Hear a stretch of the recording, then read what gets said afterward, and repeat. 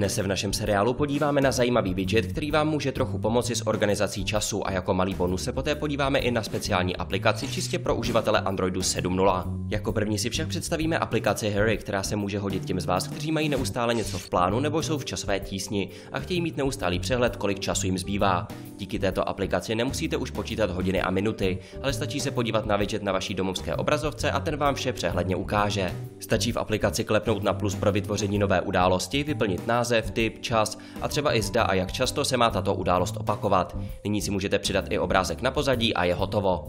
V aplikaci máte nyní další událost, u které je zobrazený název a čas, ale hlavně odpočet zbývajících dní a postupně samozřejmě i hodin a minut. Tyto informace pak můžete promítnout pomocí různých widgetů na domovskou obrazovku a mít tak neustálý přehled, kolik času vám na co zbývá.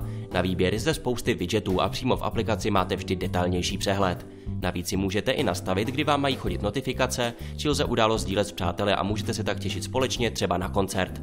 Harry je sice malinká aplikace a každý pro ní využití nenajde, ale alespoň je kompletně zdarma a bez reklam. Druhou aplikaci můžete poznat, pokud jste tento týden sledovali odhalení nového Note 8 od Samsungu a zaujala vás funkce, kdy jedním klepnutím otevřete okamžitě dvě aplikace najednou ve split screenu. Jinou přesně to samé dělá i aplikace Screens, jen si ji může stáhnout z obchodu Google Play každý s Androidem 7.0, který funkci split screenu umožňuje. Stačí přidat pomocí plusek dvě aplikace, napsat název a vytvoří se zkratka na domovské obrazovce. Ta potom otevře vždy vámi zvolené aplikace najednou a zkratek si můžete takto vytvořit, kolik jen chcete. Otevření aplikací sice není zrovna plynulé a hezké na pohled, ale funguje. A kdo ví, třeba se aplikace ještě v budoucnu zlepší.